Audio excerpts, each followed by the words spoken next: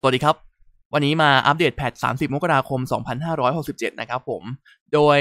ใน patch นี้เนี่ยสรุปหลักๆ คือจะมี quality of life ดีๆ เพิ่มขึ้นมาเยอะมากนะครับ แล้วก็เป็น patch ที่ใหญ่พอสมควรรวมถึงการต้อนรับของ summer ด้วย มาดูกันดีกว่าว่าแต่ละอันมีอะไรอัปเดตบ้างนะครับ ข้อที่ 1 อัปเดตตู้อุยและฮินาตะว่ายน้ำพร้อมร้อย roll ฟรี โดยจะเริ่มตั้งแต่หลังอัปเดต patch วันที่ 30 มกราคม ถึง 8 กุมภาพันธ์ก่อน 9 โมง แต่ละวันจะได้รับการหมุนตู้ 10 โรฟรี และในวันที่ 7 จะได้ 20 โรฟรี รวมเป็น 100 โรพอดีนะครับ แต่เปิดได้ถึงวันที่ 8 นะ ก่อน 9 โมง แน่นอนว่าโรฟรีเนี่ยจะหมดอายุก่อนตู้ฮานาโกะซัมเมอร์มา ดังนั้นใช้ให้หมดนะครับ มันไม่ยกยอดไปให้นะ อีกอย่างหนึ่งที่มีหลายคนถามเข้ามาเยอะมากนะครับผมร้อยโลฟรีเนี่ยดองได้ไหมดองไปเปิด ทีเดียว 100 โลในวันที่ 7 ได้ไหม ได้ครับ ส่วนถามว่าถ้าเกิดว่าไม่ได้ล็อกอินเข้าเกมในวันที่มีการแจก roll ฟรีเนี่ย วันถัดๆไปก็ถือว่าได้ไหม ได้ครับผม ถ้าเกิดว่ามี ID ที่มีอายุก่อนการได้ roll ฟรีเนี่ย พอวันที่ 7 กุมภาพันธ์เนี่ย มันจะได้ร้อย roll ฟรีอยู่ดีนะครับ ส่วนตู้ festival นะครับผมรอบนี้เป็นฮานาโกะชุดว่ายน้ำนะครับผม เริ่มต้นที่ 8 กุมภาพันธ์ หลังจากเวลา8โมง59 เป็นต้นไปนะครับผม ก็คือช่วงหมด roll ร้อย roll ฟรีแล้วอะ่ะจนถึง 15 กุมภาพันธ์ครับ โดยจะมาคู่กับตู้ของวากาโมะนะครับ ไม่ใช่ summer นะ ใน patch มันเขียนว่า summer เฉยเลย ก็ใครที่ดองเพชรไว้ก็ถือว่าเป็นช่วงเวลาที่ดีที่สุดที่จะใช้นะครับ ในรอบปีนะครับผม ข้อ 2 อัปเดตกิจกรรมตามล่าสมบัติลับ คาบนอกหลักสูตร Trinity ตัวแจกคือโคฮารุ summer นะครับทำคำแนะนำกิจกรรมการเล่นกิจกรรมไว้ให้แล้ว สามารถไปดูได้นะครับผม เริ่ม 30 มกราคมถึง 15 กุมภาพันธ์ อันนี้มันจะชนกับทั้งคำขอพิเศษคูณ 3 แล้วก็ด่านธรรมดาและด่านยากคูณ 3 นะครับ เซนเซที่อยากฟาร์มเศษโคฮารุขึ้นปืน 3 เนี่ย ก็ต้องยอมแลกสักหน่อย แต่ว่าเดี๋ยวมันวนมาคูณ 3 อีกทีหนึ่งหลังกิจกรรมจบครับ ข้อ 3 เว็บอัปเดตกิจกรรม วันพักผ่อนแสนหวาน ใต้แสงแดดอบอุ่น อันนี้เป็นเว็บกิจกรรมที่ปกติก็จะมีอยู่แล้วนะครับ เป็นรูปหน้าฮานาโกะนั่นเอง ก็ไปเข้าร่วมแล้วก็เอาเพชรได้ ข้อที่ 4 กิจกรรมล็อกอิน 7 วัน รอบนี้วันที่ 7 แจกเฟอร์นิเจอร์ของฮานาโกะซัมครับ อย่าลืมมาเล่นกันด้วยนะ อ่า โดยวันที่ 30 นี่อันนี้มันไม่ได้เขียนในแพทเนอะแต่ว่ามันมีแจ้งมาก่อนล่วงหน้าแล้วว่าจะมีแจกพันสองร้อยเพชรข้อที่5เหรียญบอสรอบนี้ที่จะมาก็คือกอส เกราะฟ้าโจมตีแดงในโหมด insane ขึ้นไปครับ โดยจะมาอังคารหน้าหรืออังคารที่ 6 กุมภาพันธ์นั่นเอง แล้วก็ตามมาด้วยสอบประมวลในสัปดาห์ต่อไป 6. ของสะสมที่เพิ่มเข้ามาในรอบนี้มีชิเซชุดว่ายน้ำมิโมริเซริกะซายะชุดลำลอง แล้วก็วากาโมะครับ แนะนำให้ทำวากาโมะกับเซริกะไว้ก่อนนะครับผม ที่สำคัญที่สุดก็คือ Quality of Life การลดเงื่อนไขใส่ไอเทมมาแล้วครับ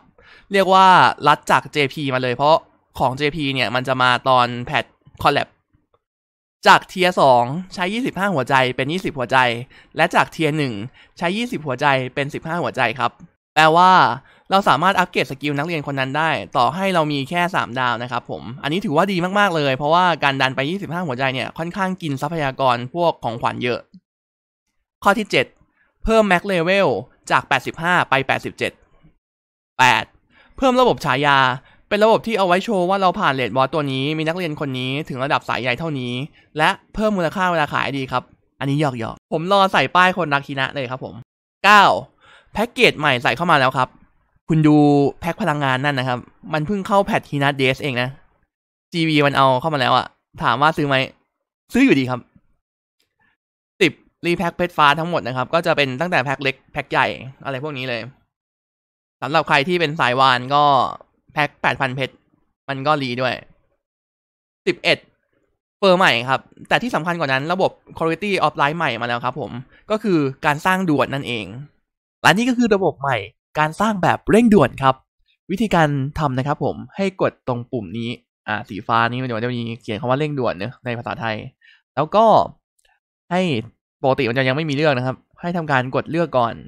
ใส่ material ที่เราต้องการใส่ลงไปนะครับ อย่างเช่นผมใส่หิน keystone ไปหนึ่งอัน แล้วมันก็จะมีให้เซตเลือกว่า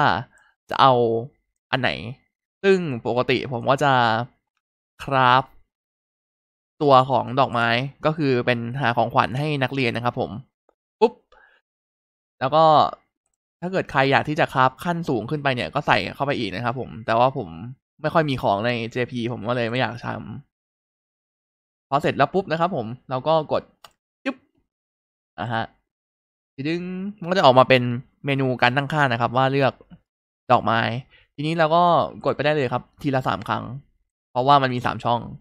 จุ๊บนี่มันก็จะเซตให้แล้วเรียบร้อย ว่าแบบมันเลือกอะไรมา แต่ว่าสมมติในกรณีที่มันไม่มีให้เลือกดอกไม้นะครับ ผม มันก็จะสุ่มเลือกอยู่ดี แล้วเราก็กดตรงนี้ได้เลย อ่า ใช้ตัวเหมือนเดิมปุ๊บ เรียบร้อยว่ามัน มันกดรับทีเดียวได้เลย ลืม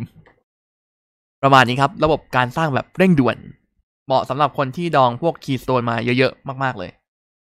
12 ปรับปรุงจิปาถะ ที่น่าสนใจคือสามารถดูได้ว่าคนใน clan ไม่ล็อกอินกี่วันครับ เพราะว่าปกติมันจะดูได้แค่ว่าไม่ได้เข้า circle เฉยๆ ซึ่งบางคนเขาเข้าเกมทุกวันแต่ว่าไม่ได้ล็อกอินเข้า circle ก็มีให้เห็นเยอะแยะนะครับ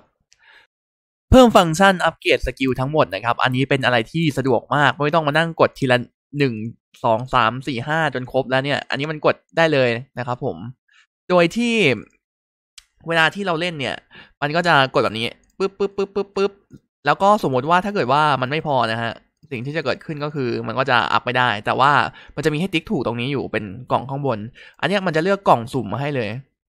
เห็นไหมครับ ว่ามันจะใช้กล่องสุ่มว่าแบบ เอ้ย เอากล่องนี้มาแล้วก็จะสามารถใช้เกเฮนนาได้ โดยมันจะเลือกจากกล่องสุ่มที่มีระดับต่ำสุดก่อนนะครับ ดังนั้นก็ไม่ต้องห่วงว่ามันจะไปเผลอใช้อันที่มันแบบ rare ๆหรือว่าอันที่เราจะเก็บไว้ใช้กับตัวอื่นครับผม เพิ่มฟังก์ชันข้าม cutscene raid boss อันนี้ดีมากเวลาที่หัวร้อนแล้วก็ re บ่อยๆ แต่ที่ดีกว่านั้นก็คือฟังก์ชันกลับไปหน้าล็อบบี้ตอน raid boss ได้ เวลาเราเล่นพลาดเนี่ยปกติจะต้อง re app อย่างเดียวนะครับ อันนี้กดปุ่มที่มาใหม่ แล้วก็จะกลับไปเหมือนเหมือนยังไม่ได้ลงทีมหนึ่ง แต่ยังนับเวลาอยู่ดีนะ แล้วก็ระวังกดผิดปุ่มด้วยไม่งั้นเสียตั๋วฟรีปรับปรุงการแสดงผลบาเรีย และการแสดงจุดอ่อนศัตรูขณะต่อสู้ อันนี้ไม่แน่ใจว่าใช่ไหมนะ แต่ถ้าใช่จะเป็นการปรับให้เราสามารถเห็นตัวจริงตัวปลอมของกอสได้ง่ายขึ้น ยังไม่ยืนยันแล้วกันว่าจะมา แต่ถ้าจะมาก็โอเคนะ จะได้ไม่ต้องแหงตาดู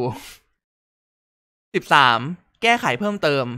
แก้ไขให้ไว้แสดงรายชื่อนักเรียนที่ได้โบนัสในกรณีที่ตู้เลทพิเศษเริ่มต้นช้ากว่าระยะเวลากิจกรรม อันนี้มาเพราะว่าฮานาโกะ summer รอบนี้มันดันมีโบนัสเปอร์เซ็นต์สำหรับการคูณกิจกรรมนะครับผม แต่ว่าดันไม่มาตอนกิจกรรมเข้าซะงั้น แสดงให้เห็นนะครับว่าแผนเอาตู้ร้อย roll ฟรีมาก่อนตู้ limit เป็นแผนการตลาดที่คิดขึ้นที่หลังการออกแบบระบบ 14 นะครับผม นอกจากนี้จะเป็นอัปเดตเกี่ยวกับคูณ 3 ครับ ซึ่งดูได้ที่ตารางปฏิทินเลย รอบนี้จะมีช่วงที่ทับกับอีเวนต์แล้วก็จะมีคูณ 3 อีกรอบหนึ่งหลังอีเวนต์ครับ ตัดสินใจกันได้ตามสะดวกเลย สุดท้าย